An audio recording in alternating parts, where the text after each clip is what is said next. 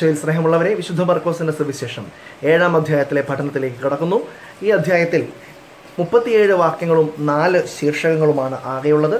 ആദ്യ ശീർഷകമായ സാപത്ത് പാരമ്പര്യത്തെക്കുറിച്ച് തർക്കം എന്ന ഭാഗത്തെ അതായത് ഒന്ന് മുതൽ പതിമൂന്ന് വരെയുള്ള ഭാഗങ്ങളിലെ ചോദ്യോത്തരങ്ങളാണ് ഈ വീഡിയോയിൽ ഉള്ളത്. ചോദ്യം ഒന്ന്.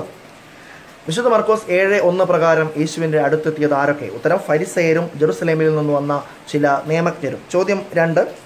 അവന്റെ ശിഷ്യന്മാരിൽ ചിലർ കൈ കഴുകാതെ ഭക്ഷണം കഴിക്കും കൈ കഴുകി ശുദ്ധി വരുത്താതെ ഭക്ഷണം കഴിക്കുന്നത് അവർ കണ്ടു. അവർ ആര്? ഉത്തരം ഫരിസേരും ജെറുസലേമിൽ നിന്ന് വന്ന ചില നിയമജ്ഞരും. ചോദ്യം മൂന്ന് ആരുടെ പാരമ്പര്യം അനുസരിച്ചാണ് ഫരിസേരും യഹൂദരും കൈ കഴുകാതെ ഭക്ഷണം കഴിക്കാറില്ലാത്തത്? ഉത്തരം പൂർവികരുടെ.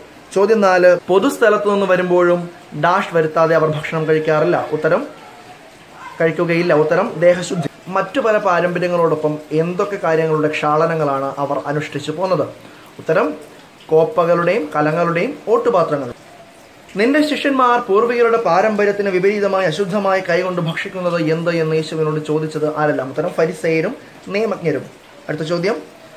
കപടനാട്യക്കാരായ അവരെക്കുറിച്ച് അതായത് ഫരിസേ നിങ്ങളെക്കുറിച്ച് അതായത് ഫരിസേയരെയും നിയമജ്ഞരെയും കുറിച്ച് ഏത് പ്രവാചകൻ പ്രവചിച്ച കാര്യമാണ് യേശു എടുത്തു പറയുക? ഉത്തരം ഏഷ്യ യേശു പറഞ്ഞ ആ വാക്യം ഏത് അധ്യായ വാക്യത്തെ ഏഷ്യയുടെ പുസ്തകത്തിൽ നിന്നുള്ളത് ഉദ്ധരിച്ചാണ്? ഉത്തരം ഇരുപത്തിയൊൻപത് പതിമൂന്ന്.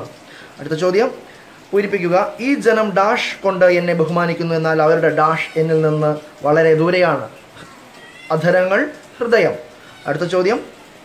ഡാഷ് അവർ എന്നെ ആരാധിക്കുന്നു. വിശുദ്ധ മാർക്കോസ് ഏഴ് ഏഴ് പൂരിപ്പിക്കുക. ഉത്തരം വ്യർത്ഥമായി. പ്രമാണങ്ങളായി പരിസയ നിയമജ്ഞരും എന്താണ് പഠിപ്പിക്കുന്നതെന്നാണ് യേശു പറയുന്നത്. ഉത്തരം മനുഷ്യരുടെ കൽപ്പനകൾ. അടുത്ത ചോദ്യം. ദൈവത്തിന്റെ കൽപ്പന ഉപേക്ഷിച്ച് അവർ മുറുകെ പിടിക്കുന്നത് എന്താണെന്നാണ് യേശു പറയുന്നത്? ഉത്തരം മനുഷ്യരുടെ പാരമ്പര്യം.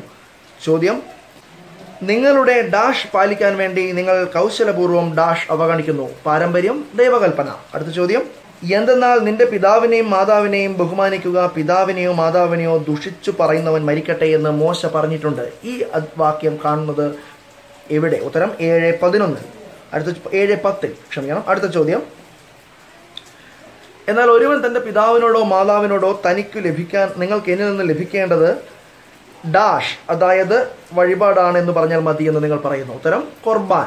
അടുത്ത ചോദ്യം ദൈവവചനം പരിസയ നിയമജ്ഞരും നിരർത്ഥകമാക്കുന്നത് എന്തുവഴി എന്നാണ് യേശു പറയുന്നത്. ഉത്തരം അവർക്ക് ലഭിച്ച നിങ്ങൾക്ക് ലഭിച്ച പാരമ്പര്യം വഴി. ഇതുപോലെ ഡാഷ് നിങ്ങൾ ചെയ്യുന്നു. വിശുദ്ധ മർക്കോസ് ഏഴ് പതിമൂന്ന് പൂരിപ്പിക്കുക. ഉത്തരം പലതും.